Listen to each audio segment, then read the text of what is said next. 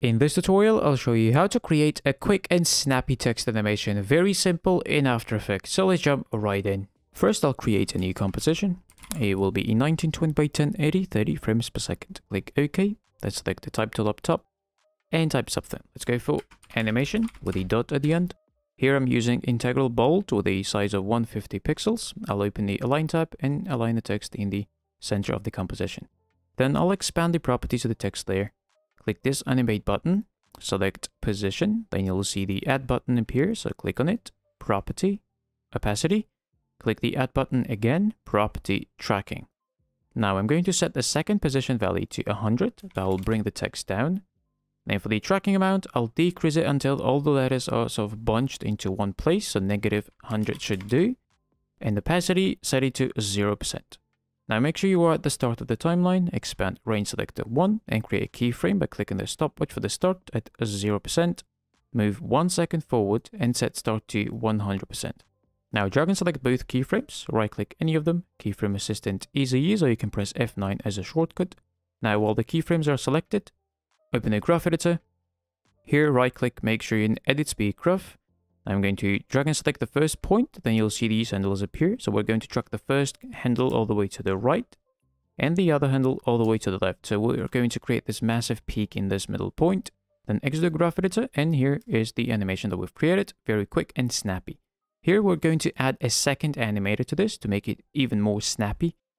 Click the animate button, not the add button, but the animate one and select tracking.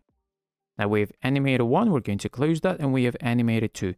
Now I'm going to place the time indicator 10 frames before this uh, keyframe of the animator 1. So that would be 20 frames.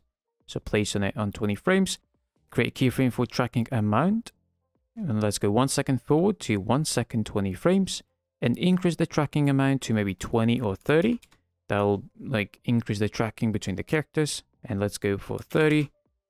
Then I'm going to drag and select the keyframes, press F9 to easy ease them, open the graph editor and do the same thing with the keyframes. So I'm going to drag this one to the right all the way and the other one to the left. Again, create the peak in the center. Let's exit the graph editor and let's preview the animation. So you can see that makes everything a lot more snappier by adding this extra animation at the end. So here we're going to add a background and do a really cool thing. So for the background, we'll go up to layer, new solid. Let's name this one BG. And for the color, I'll choose a very light blue, something like that. Click OK. Now let's place it below the text.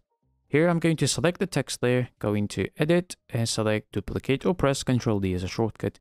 Here I'm going to select the, the bottom text, press S on the keyboard, and increase the scale really high to maybe 800. Then I'll align the text in the center of the composition and make sure the, the letters are not getting cut off by the edges of the composition. So 800 in my case looks good.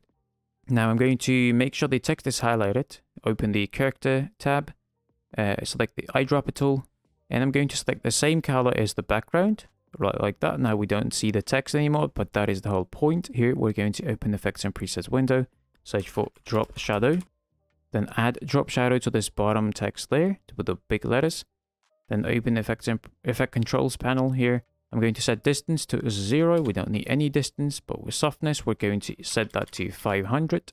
And that is the kind of effect that we get. Now I'm going to press T to bring up opacity of this layer and set it really low to maybe 20%. So it is barely visible in the background. Now we are going to add one more thing. So if you don't see this column right here, click toggle switches and modes until you do and enable motion blur for both text layers and make sure that this one is enabled as well so you can see the motion blur. So now we can do the preview. So here's our quick and snappy text animation done super easily in After Effects. I hope you enjoyed and learned something new in this tutorial. Thank you guys for watching and see you in the next one. Peace out.